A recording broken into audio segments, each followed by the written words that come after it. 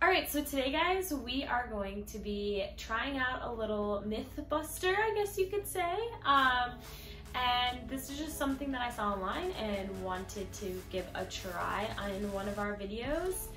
And that is if you don't have any Hi-Shine for your balloons, and say you're working with dark balloons and they are getting dirty and they're looking a little oxidized or they're just a little dusty and dirty, but you ran out of Hi-Shine I've seen that you can use hairspray as an option. So this is just literally some hairspray I had in my cupboard.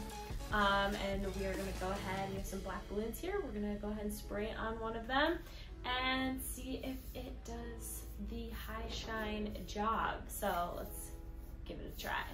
All right, so we have some of our black balloons here that are from an install. So these have been used, they've been um, transported. They're super dusty. Um, I hope you can see it in the camera there. They're not looking too hot. So we got our just, you know, regular can of aerosol, aerosol hairspray.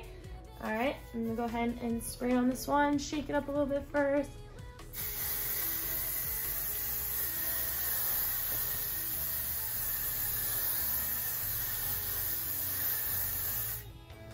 All right, so I know with Hi-Shine, you're supposed to kind of like rub it in. Um, I'm just gonna kind of let it sit and just see how that looks.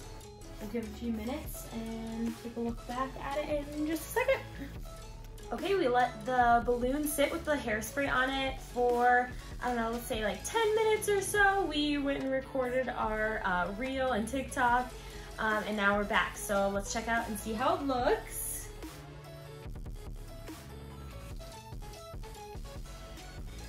So I would say it definitely looks way shinier than the balloons that we did not spray. So if you're in a time crunch or, you know, last minute bind and you don't have any Hi-Shine, I would definitely turn to some aerosol hairspray and use that if you absolutely need to. Hopefully this helped you guys out and tune in for another one.